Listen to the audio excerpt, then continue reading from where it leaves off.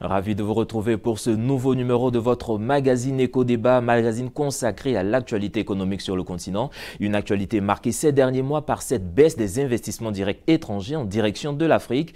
En effet, les flux vers le continent ont baissé de 16% en 2020 à 40 milliards de dollars contre 47 milliards de dollars en 2019 et les prévisions restent encore pessimistes. La pandémie de Covid-19 serait-elle la seule cause de ce revirement de situation? Comment attirer davantage les IDE sur le continent ou comment optimiser l'usage de ces fonds. Tentative de réponse avec nos invités du jour. Sadia Zouzou, spécialiste en intelligence économique. Merci d'être avec nous. Merci beaucoup euh, Stéphane Soumaro pour une fois de plus euh, l'opportunité que vous nous donnez d'échanger avec nos chers téléspectateurs sur des thématiques qui ont trait au développement de notre cher continent africain.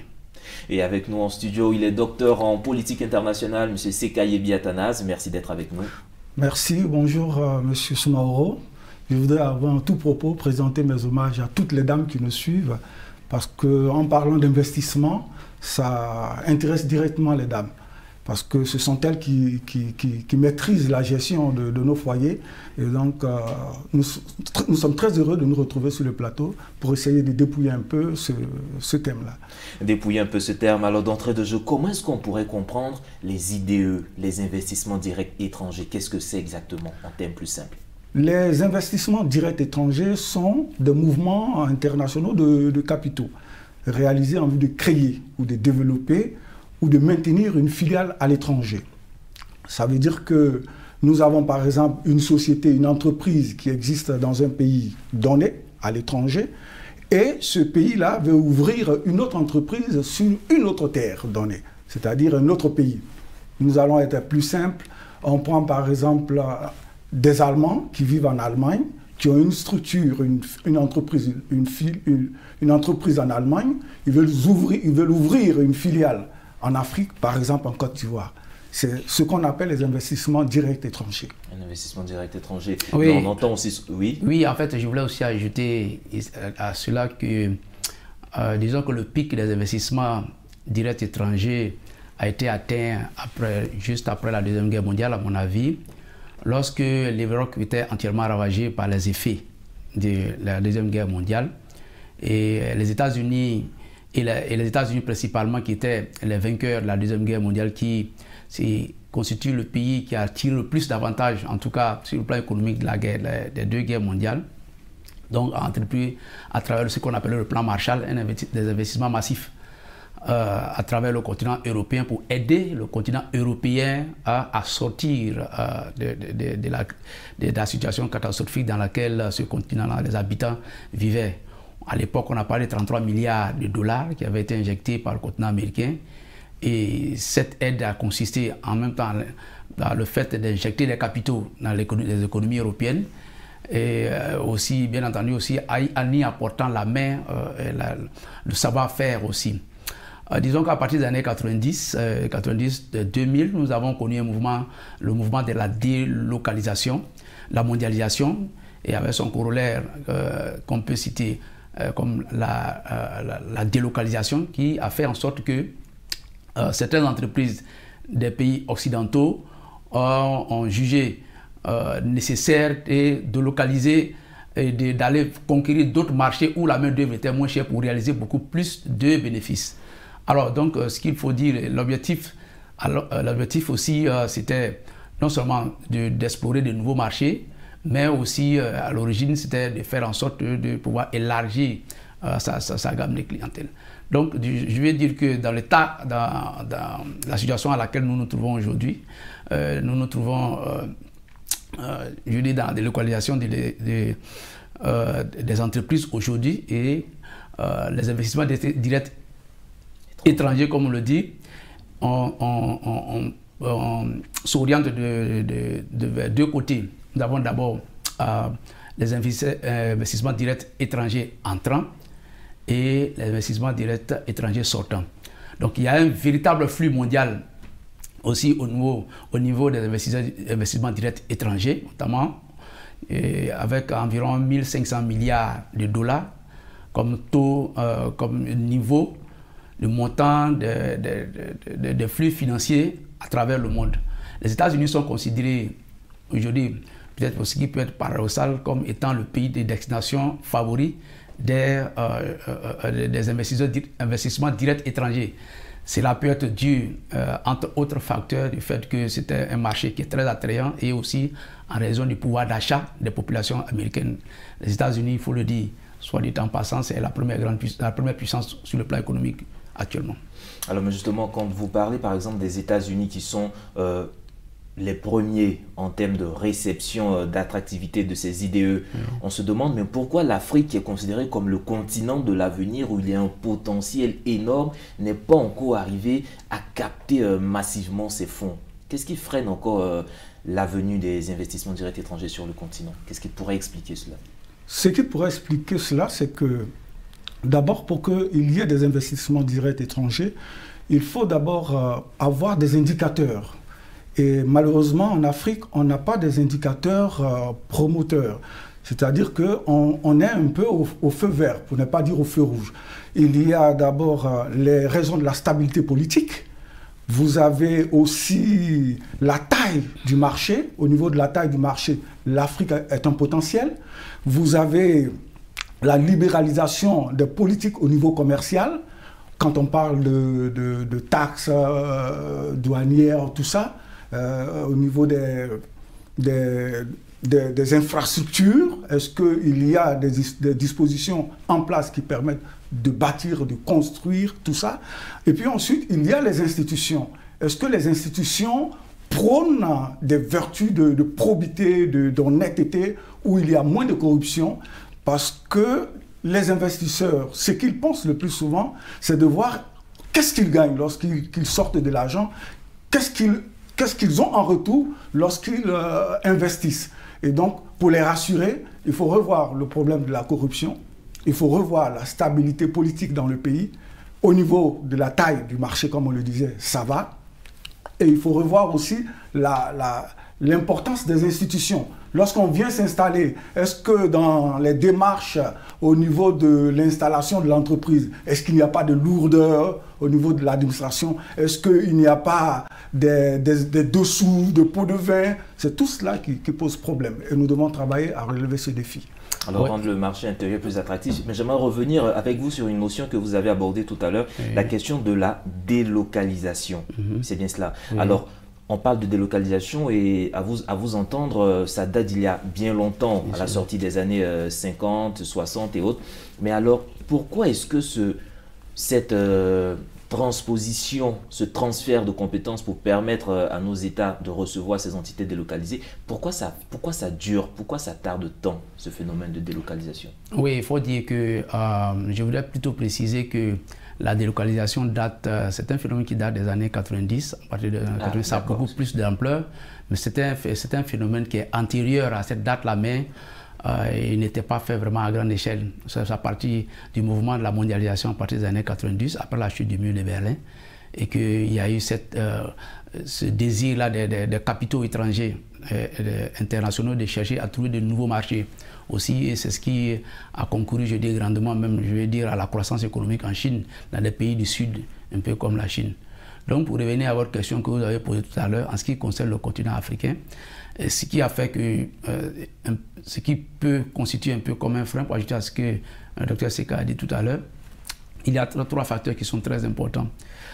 D'abord, voici trois facteurs qui sont importants pour pouvoir capter les il faut qu'il y ait une certaine diversification au niveau de l'économie.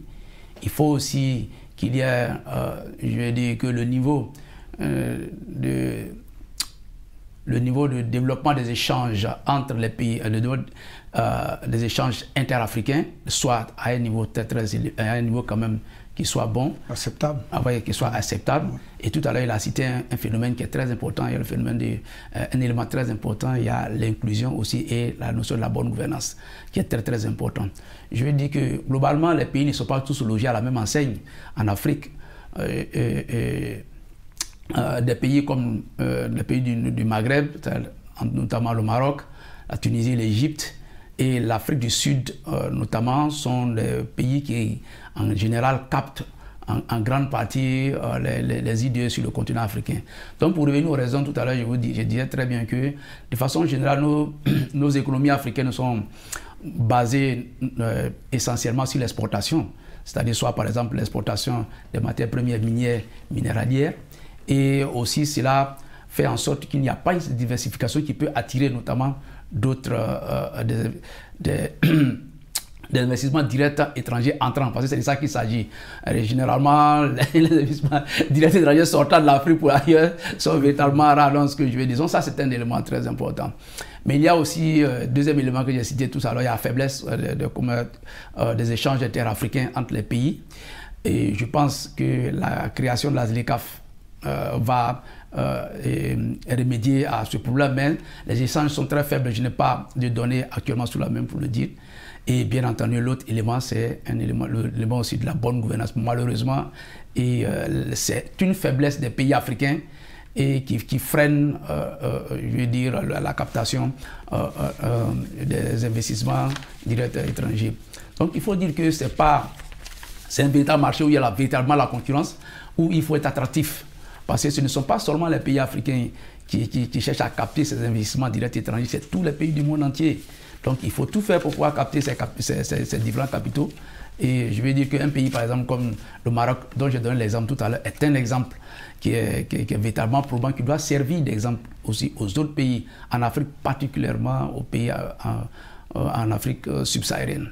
Alors, monsieur, on voit que c'est un élément vraiment euh, déterminant dans nos économies locales, mais on a constaté que depuis ces deux dernières années, il y a une baisse significative des investissements directs étrangers en Afrique. C'est vrai, on peut euh, argumenter euh, la crise de la Covid, mais est-ce que c'est la seule raison de cette baisse des investissements directs étrangers en Afrique? Il faut dire que la crise de la Covid a, été euh, très difficile pour les pays africains. Ça a eu un impact, je dirais, terrible dans la mesure où on, ne s'y attendait pas. Nous avons, les premiers partenaires que nous avons, ce sont les pays de l'UE, de l'Europe, et nous avons au niveau des États européens, nous avons 27 pays qui composent l'Union européenne. Et la plupart de ces pays-là travaillent en partenariat avec l'Afrique dans le cadre des investissements directs étrangers. Et la Covid, comme vous l'aviez souligné tout à l'heure, les, flux au niveau de, de l'Afrique ont baissé de 16%. Et cela correspond à 40 milliards de dollars, ce qui est énorme. Et en plus de, de, cela, nous avons relevé le fait qu'il faut assainir le, milieu des affaires, il faut faciliter la, délocalisation des, entreprises étrangères euh, en, Afrique. Ce sont, des, vecteurs, ce sont des indicateurs de, développement et de prospérité. Quand on voit qu'il y a beaucoup d'investissements dans un pays donné, ça veut dire d'abord qu'il y a au niveau politique, il y a une stabilité. Et au niveau de la facilitation de la délocalisation, il y a aussi beaucoup de, choses qui se font. Et ça permet aux investisseurs d'être rassurés et de pouvoir venir et investir. Oui, je voulais, euh, je voulais, ajouter aussi que euh, principalement, euh, les causes sont liées principalement aux effets néfastes de la COVID-19. Je veux dire que les, les les, économies africaines de façon générale sont tirées par euh, les, exportations des matières premières de façon générale. Et donc vous avez vu qu'avec la, la Covid-19, il y a eu la contraction de la demande au, de, niveau des pays euh, occidentaux, généralement vers qui euh, nous exportons, enfin je parle des Africains, exportent leurs produits. Donc il y a cela aussi qui est un facteur très important qui, a concouru à freiner aussi, euh, euh, je vais dire, ces, idées. Autre chose aussi, étant lié aussi au premier facteur, est le fait que les entreprises occidentales, c'est-à-dire les multinationales qui ont l'habitude d'investir sur le continent africain, ont dû parfois aussi contracter, euh, contracter aussi, revoir aussi leurs différents plans euh, euh, d'investissement sur le plan étranger, sur les marchés étrangers, notamment sur les marchés africains. Et de façon générale, l'Afrique est, est, une destination qui est choisie un peu en dernière position lorsque, par exemple, on n'a pas très certainement pu s'étendre par exemple sur le, marché le plus attractif aujourd'hui, c'est l'Asie du Sud-Est avec la Chine et tous les autres pays, les dragons d'Asie du Sud-Est. Et c'est vers ces pays-là que, la plupart des investissements directs étrangers euh, euh, vont. Donc je vais dire que les, les, grandes multinationales qui interviennent notamment dans les IDE en Afrique ont dû revoir certaines de leurs stratégies, notamment en ce qui concerne les investissements à l'étranger. Et puis, autre facteur qui n'est peut-être qui ne transparaît pas euh, toujours, c'est aussi vous savez, c'était un moment que l'Afrique s'est couillée aussi par, euh, par, par, l'insécurité, avec euh, les, mouvements djihadistes qui sont devenus très, très, aujourd'hui, qui sont devenus très présents aujourd'hui sur, dans, les pays africains. Cela ne favorise pas de façon générale l'attrait aussi des pays africains parce qu'on sait très bien que, par exemple, la plupart des idées sont orientées vers les industries extractives, notamment le pétrole, le gaz, les mines, etc. etc. Et dernier facteur aussi, il faut dire que nous sommes à la veille de ce qu'on appelle la transition énergétique, aujourd'hui où euh, beaucoup de pays européens sont en train de plus en plus, euh, de, plus, en plus en train de s'orienter vers l'économie verte. Donc essayer euh, autant que faire se peut diminuer le recours, par exemple, aux ressources fossiles tels que le pétrole, le gaz, etc. etc., Mais euh, je veux dire que la guerre en Ukraine aussi a commencé les cartes. Je veux dire que ça peut être aussi une opportunité aussi pour les pays africains. Mais voilà. Une opportunité pour les pays africains, on verra sans doute comment. Mais déjà, comment est-ce que nos pays africains peuvent s'organiser ou orienter leur politique pour attirer davantage d'investissements directs étrangers? Vous avez parlé de bonne gouvernance. Est-ce qu'il faille mettre en avant uniquement la volonté politique où il y a des indicateurs, des axes vraiment que nos autorités doivent regarder Il faut plutôt développer une politique sociale. Une politique sociale qui permet à tout citoyen africain ou tout citoyen d'un pays donné d'avoir une certaine éthique morale du bien public et de la gestion claire et nette des, des patrimoines euh, publics.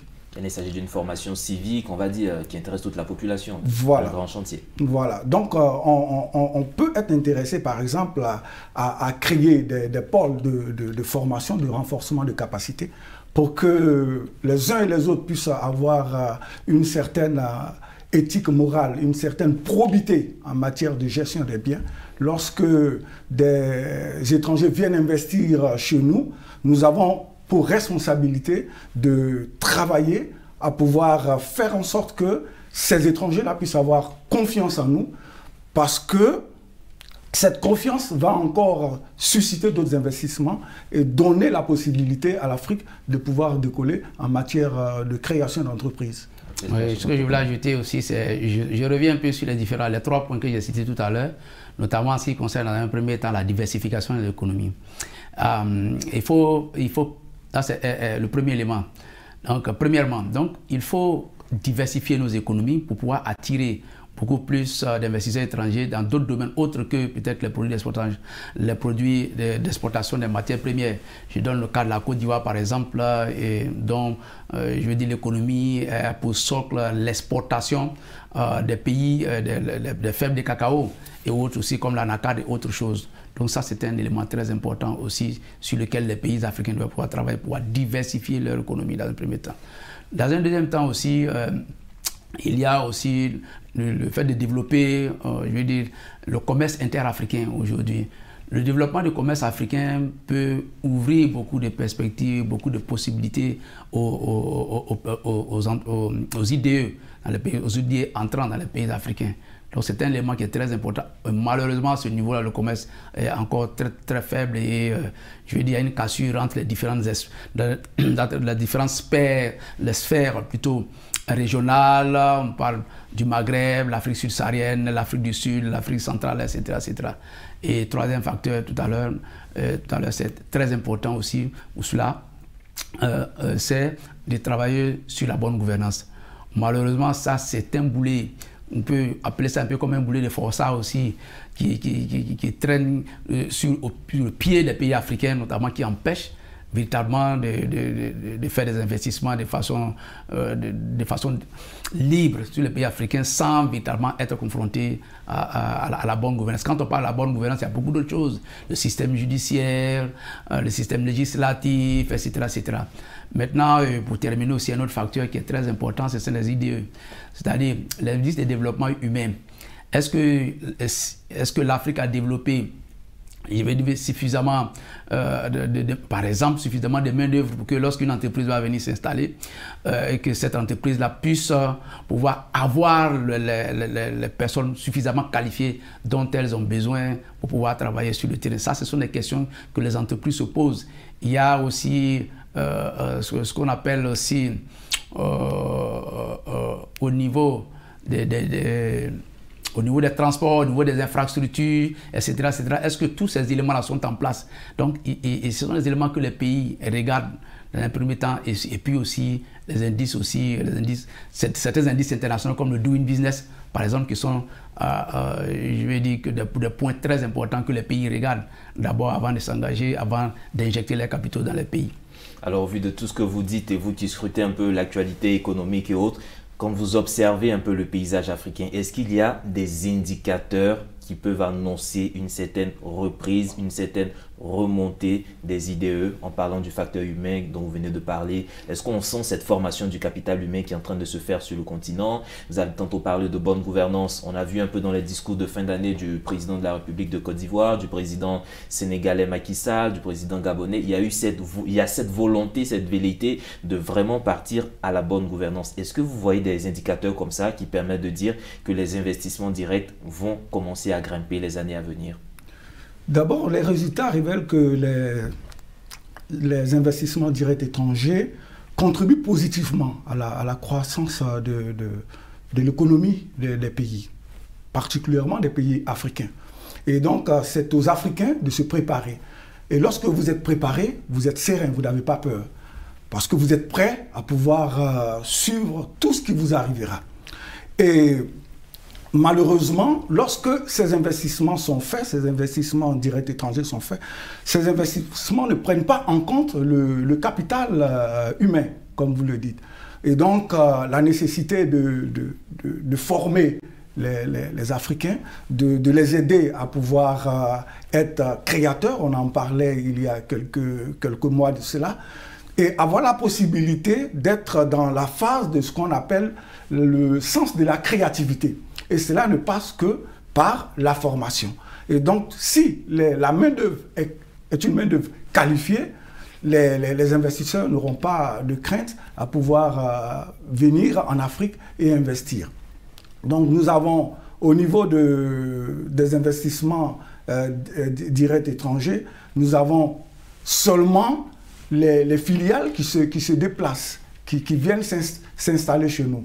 Donc les indicateurs que nous avons, c'est que certains pays, malheureusement pas tous les pays, certains pays, et nous le voyons déjà en Côte d'Ivoire, sont en train de mettre en place les structures nécessaires pour relever le, niveau d'intellectualité, le niveau de créativité des Ivoiriens. Donc, d'où la construction des, universités, la construction des, des, grandes écoles, la construction des, collèges et lycées.